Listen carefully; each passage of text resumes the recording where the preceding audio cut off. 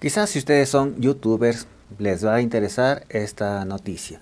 Voy a realizar un video tratando de leer y un poquito de analizar lo que propone Google, o mejor dicho YouTube, para esta nueva temporada. Es decir, políticas, restricciones y un poco más.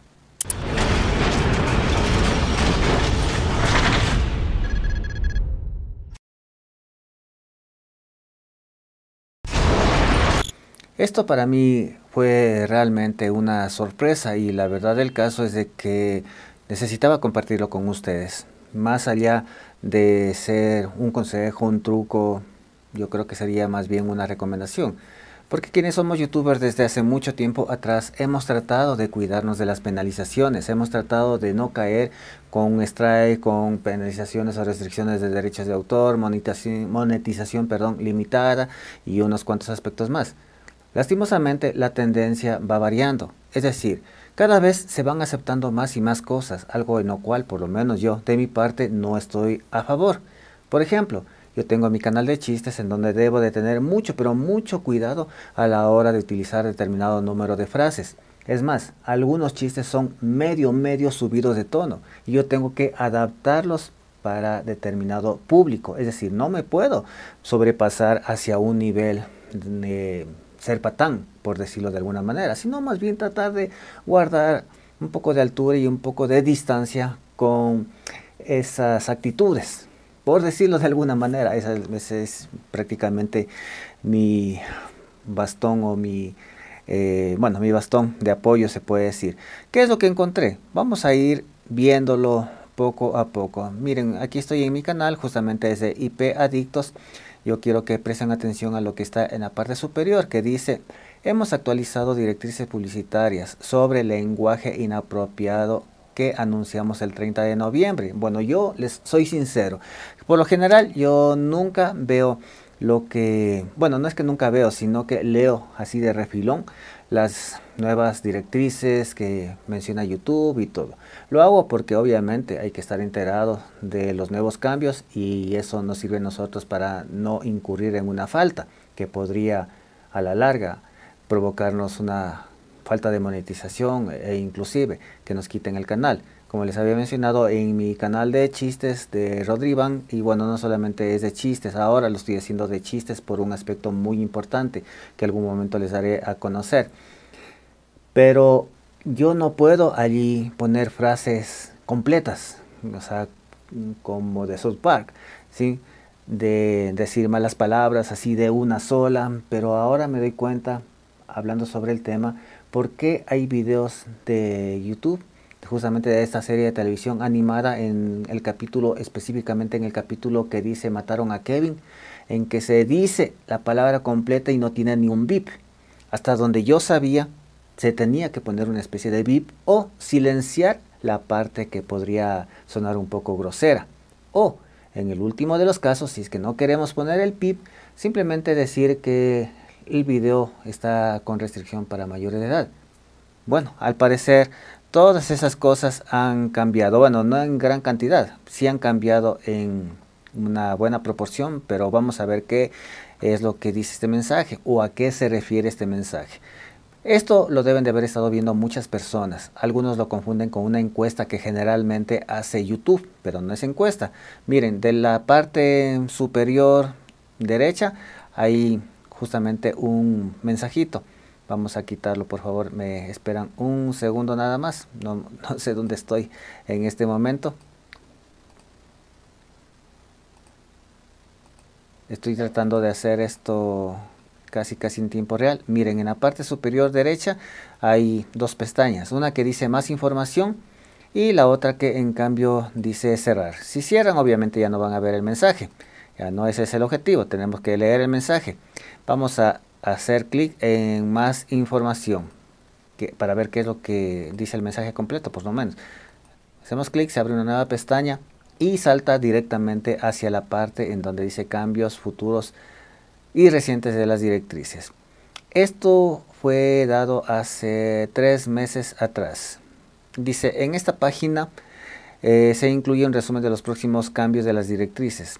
A ver, Dice marzo del 2023 es la fecha en la que estamos nosotros en este momento. Hemos actualizado nuestras directrices sobre lenguaje inapropiado.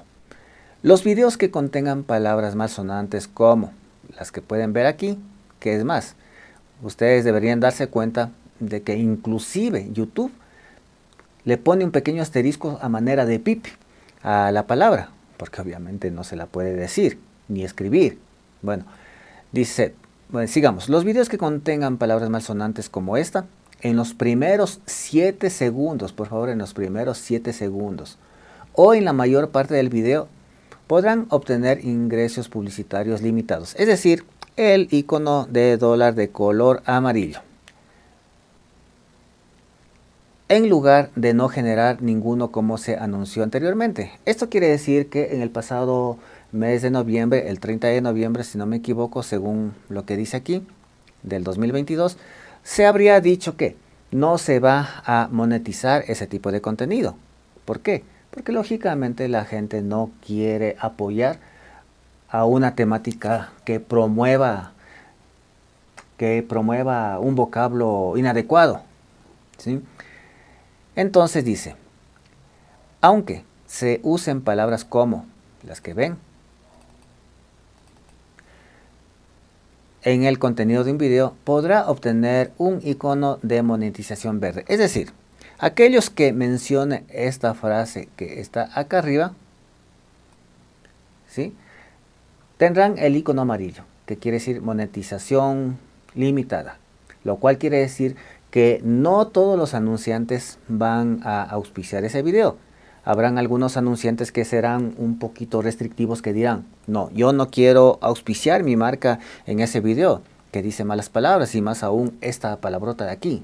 Sí, pero habrán otros que en cambio, por ejemplo, como una marca, digamos, me voy a suponer en este momento, una marca de cervezas, que a lo mejor esté de acuerdo, que diga, mm, sí, a un borrachito se le va de más, no está de, no, hay nada de malo en, en poner, en que diga alguien esa palabra, dejémosle nomás. O sea, esto ya es cuestión más de cada cliente, de cada anunciante. Aunque, lógicamente, ustedes deberían de esperar que van a haber menos anunciantes que van a aceptar este tipo de vocablos.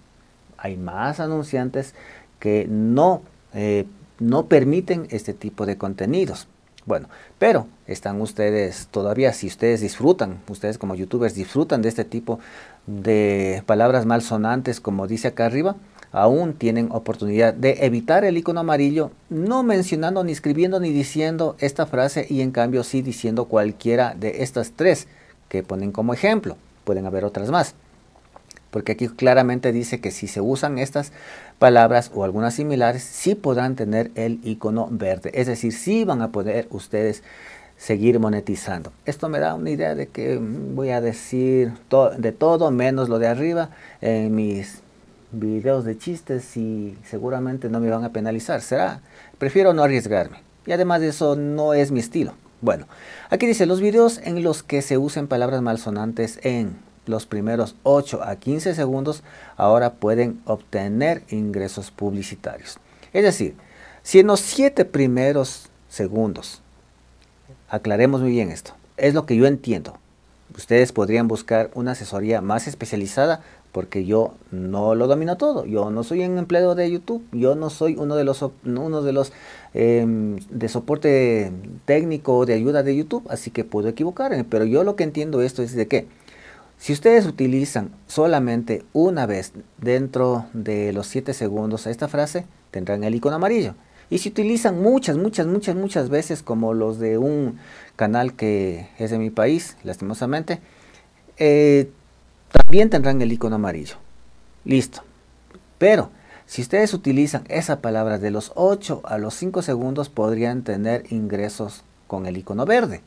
Es lo que dice aquí, es lo que entiendo. Es decir, traten ustedes de no emplear esa frase antes de los 7 segundos. Si pueden emplearlo al final del video de la media hora, pues tal vez quedaría eh, eh, eh, perdonado, yo creo. Bueno, dice además, hemos aclarado nuestras directrices relativas a cómo se tratan los videos con música que incluye lenguaje malsonante. ¿A qué se refiere? Bueno, pues en realidad esto les va a molestar a muchos de mis seguidores, a muchas personas que incluso no me siguen, porque hay muchos que no me siguen, que obligatoriamente van a decir, ¿qué le pasa a este señor? Está loco, hay que irse con eh, los tiempos actuales.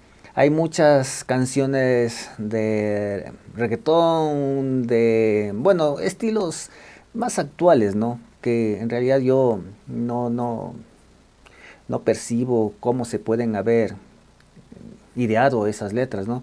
Ahí le doy la razón gran parte a Alex Sintek cuando en una ocasión él también criticaba este tipo de canciones, en donde se utiliza un lenguaje súper, pero súper agresivo, a veces inclusive con las mismas mujeres.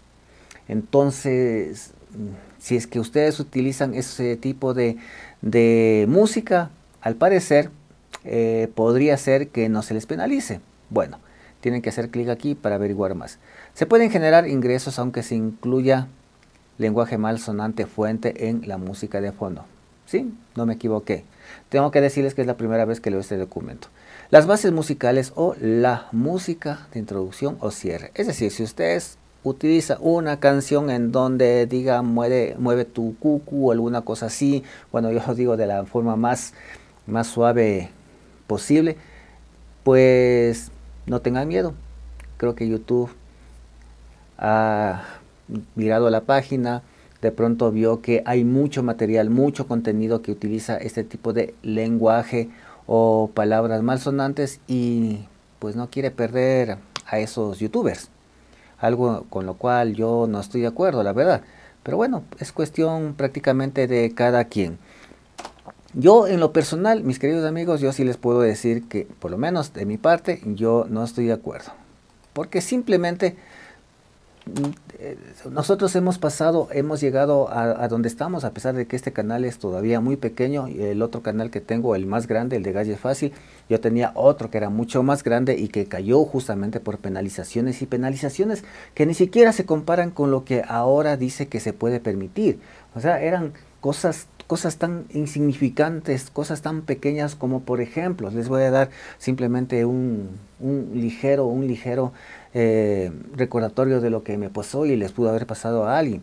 ¿Qué es lo que hice? Pedí a muchos, muchos, muchos amigos en las redes sociales que se suscriban, que por favor me apoyen, me apoyen, porque yo tenía cerca, les hablo de hace mucho tiempo atrás, hace unos 10 años atrás, si no me equivoco, yo tenía cerca de 20 mil suscriptores y quería, fue una novelería de mi parte, quería pasar a los 21 mil solamente por eh, superarle a otro canal que era mi competidor, que son amigos míos.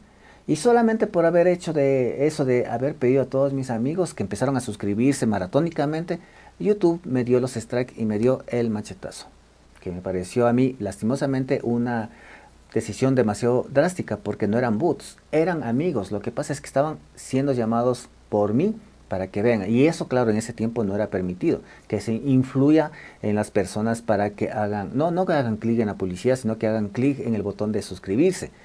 Y ahora, ahora se permite mucho, pero mucho más.